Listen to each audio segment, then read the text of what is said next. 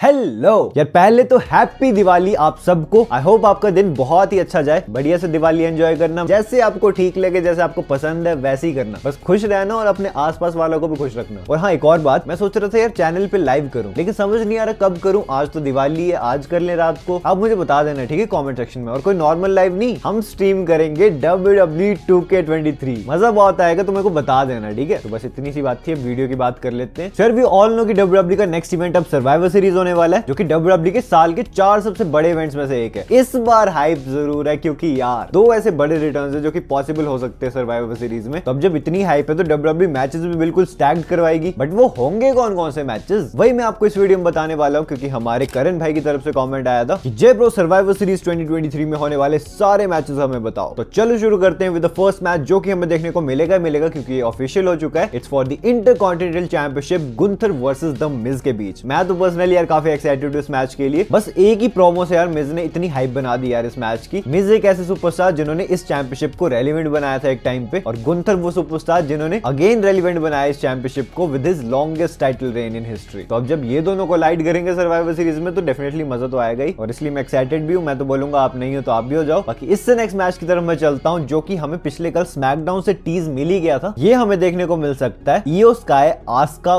Kairi Sane and Bayley जो कि heel team होगी versus Charlotte Flair Shotzi Bianca Belair और एक मिस्ट्री सुपरस्टार के बीच एक वॉर गेम्स मैच। अब देखो यार, मैं जो मैचेस आपको बता रहा हूँ ना, ये मैं बिल्कुल पिछले साल का रेफरेंस लेके बना रहा हूँ। बट हाँ आई नो आप सोच रहे हो कि यार मिस्ट्री पार्टनर कौन हो सकता है यहाँ पे? अब रैंडी ऑर्टन और सीएम पंक का रिटर्न पॉसिबल है तो वो तो होंगे नहीं। पर ये सुपरस्टार नहीं हो सकती है जेड कारगिल हमने देखा है रिसेंटली सारे स्मैकडाउन एनएक्सटी ये, वो, के एपिसोड्स पे कि जेड कारगिल को काफ़ी बार फीचर किया डब्ल्यू ने, लेकिन अभी तक भी उनका कोई डेब्यू मैच हुआ नहीं है। और अब जब डब्ल्यू ने इतना हाइप कर दिया उन्हें तो क्या पता डब्ल्यू उन्हें इसी मैच में डाल दे। और इससे होगा ये कि फैंस को सरप्राइजिंग फैक्टर भी मिल जाएगा और डेब्यू का डेब्यू भी हो जाएगा यार। बाकी इससे नेक्स्ट मैच की तरफ़ मैं चलता हूँ, जो कि अगेन ऑफिशियल हो चुका है। ये होने वाला for the Women's World Championship Rhea Ripley versus Zoey Stark के बीच। इसके बारे में ज़्यादा बात करने के लिए कुछ भी नहीं है। हमें पता है इस मैच में क्या ही होने वाला है। जोई स्टार्क ने बस एक फैटल फोर वे मैच था, शायद वो उसको जीता था, जिससे वो नंबर वन कंटेंडर बन गई इस चैंपियनशिप मैच के लिए। तो बस ये देखने को हमें मिलेगा अब। बाकी इससे नेक्स्ट मैच की तरफ़ मैं चलता हूँ, जो की काफ़ी ज़्यादा रूमर्ड है। ये मैच है LA Knight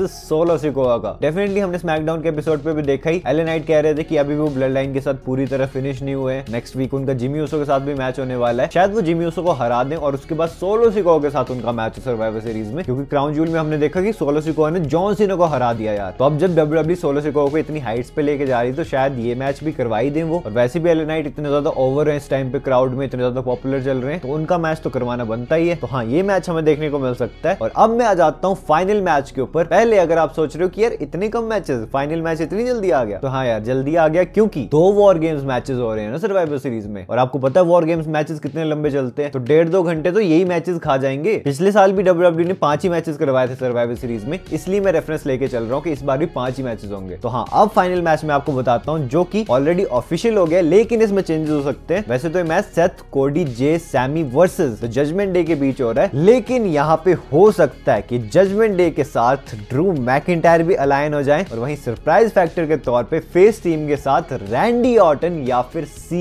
एम पंक भी हो सकते हैं। लास्ट ईयर भी सर्वाइवर सीरीज़ वाला वॉर गेम्स मैच जो हुआ था, वो फाइव वन फाइव हुआ था फोर वन फोर नहीं। और वैसे भी ड्रू मैकिटायर का कोई मैच नहीं हो रहा सर्वाइवर सीरीज़ में। ऊपर से दो रिटर्न भी हो सकते हैं। तो हाँ ये मैच ऑफिशियल तो है, लेकिन चेंज हो सकता है। फिर यही थे वो सारे मैचेस बट सर्वाइवर सीरीज़ होने कब वाली है? तो अगर वो जानना है तो यार, ये रही वीडियो आपके सामने। इसे क्लिक करो और देख लो, आपको सारी इन्फॉर्मेशन पता लग जाएगी। आपको सारी इन्फॉर्मेशन पता लग जाएगी सर्वाइवर सीरीज़ से रिलेटेड बाकी मैं आपसे मिलता हूँ अपनी नेक्स्ट वीडियो में एक बहुत ही इंटरेस्टिंग टॉपिक के साथ। So until that time this is Jay signing out